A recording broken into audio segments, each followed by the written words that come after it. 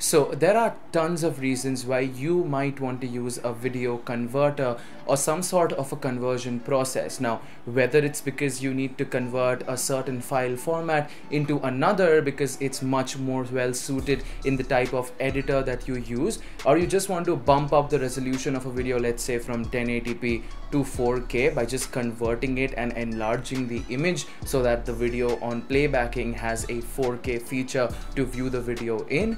Whatever the reason is, knowing the correct conversion program that will not cause any reduction in the quality as well as make your whole workflow extremely easier than before is highly, highly important. On that note, what's up guys? And we're here today we are talking about the best video converter for Windows or for Mac. With that being said, let's not waste any time. Leave a like, subscribe to the channel and let's get started.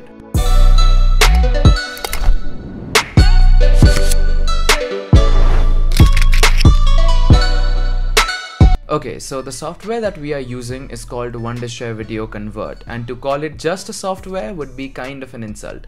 Now, this software is almost a full-blown video editor apart from letting you convert your videos across 1000 conversion formats at high speeds, it also lets you add watermark, effects, crop the video and add subtitles.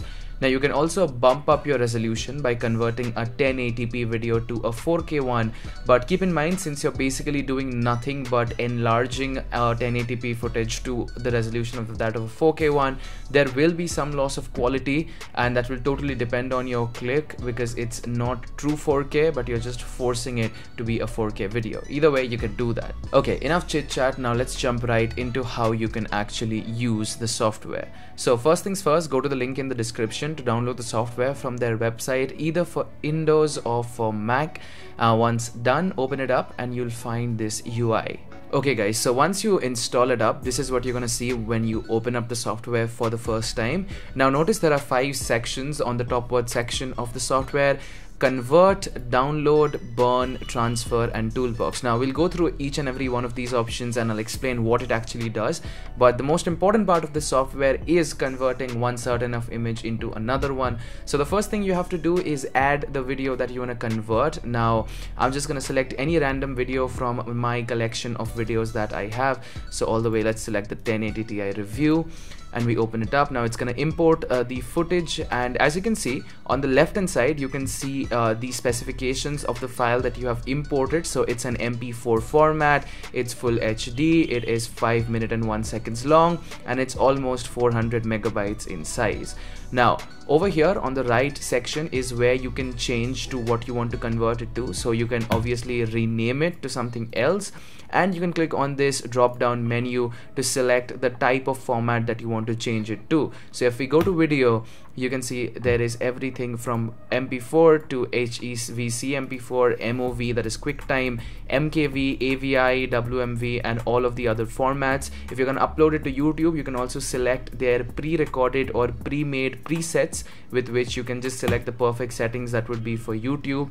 And you would want to convert a software for many possible reasons either to reduce the size so it's easier to download. So let's say you create a full HD or a 4K video and you turn it down to full HD so that the size is smaller when you upload to YouTube. But for now let's turn this normal video into a 4K one. So I'm just gonna select MOV because it's gonna be easier for me to access in my MacBook.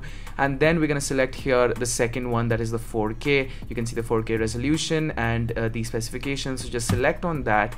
It's gonna show you uh, the difference in uh, the size. Now uh, surprisingly it's smaller than the 1080p one basically because it's an MOV and once you're ready with all your settings you can select where you're going to output it to. So just select the folder that you want to output it to. For now I'm gonna uh, select desktop and hit OK.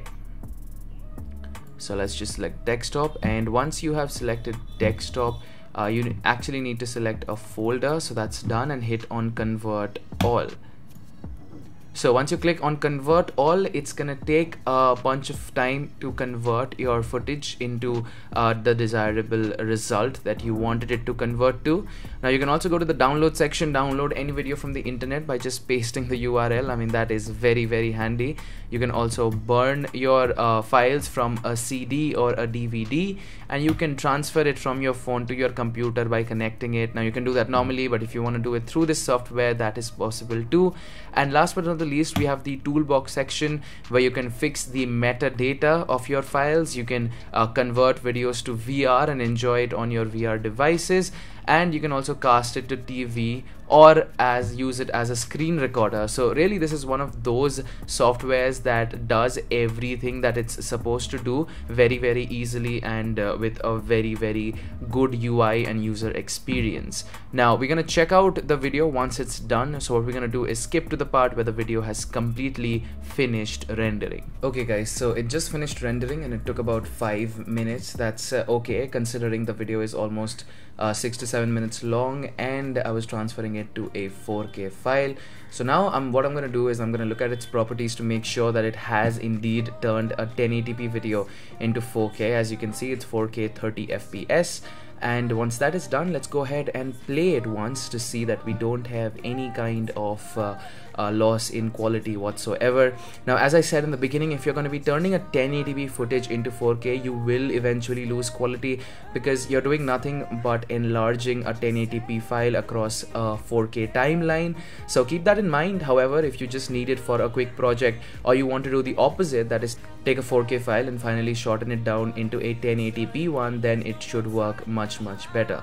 Other than that this is a really great software that I think everybody should at least know about uh, when you want to convert videos and you're working in this field. And uh, yeah I'll drop links in the description so definitely be sure to check it out. And well guys that is pretty much it for today's video. If you guys did enjoy it feel free to leave a like subscribe to the channel. A huge thanks to Wondershare for sponsoring this video and supporting this channel. It really helps me getting out content to you guys on a weekly basis. With that being said follow me on Instagram and on Twitter links in the description below. Until then, this is Anubhav signing out. I will catch you guys in my next one. Peace out.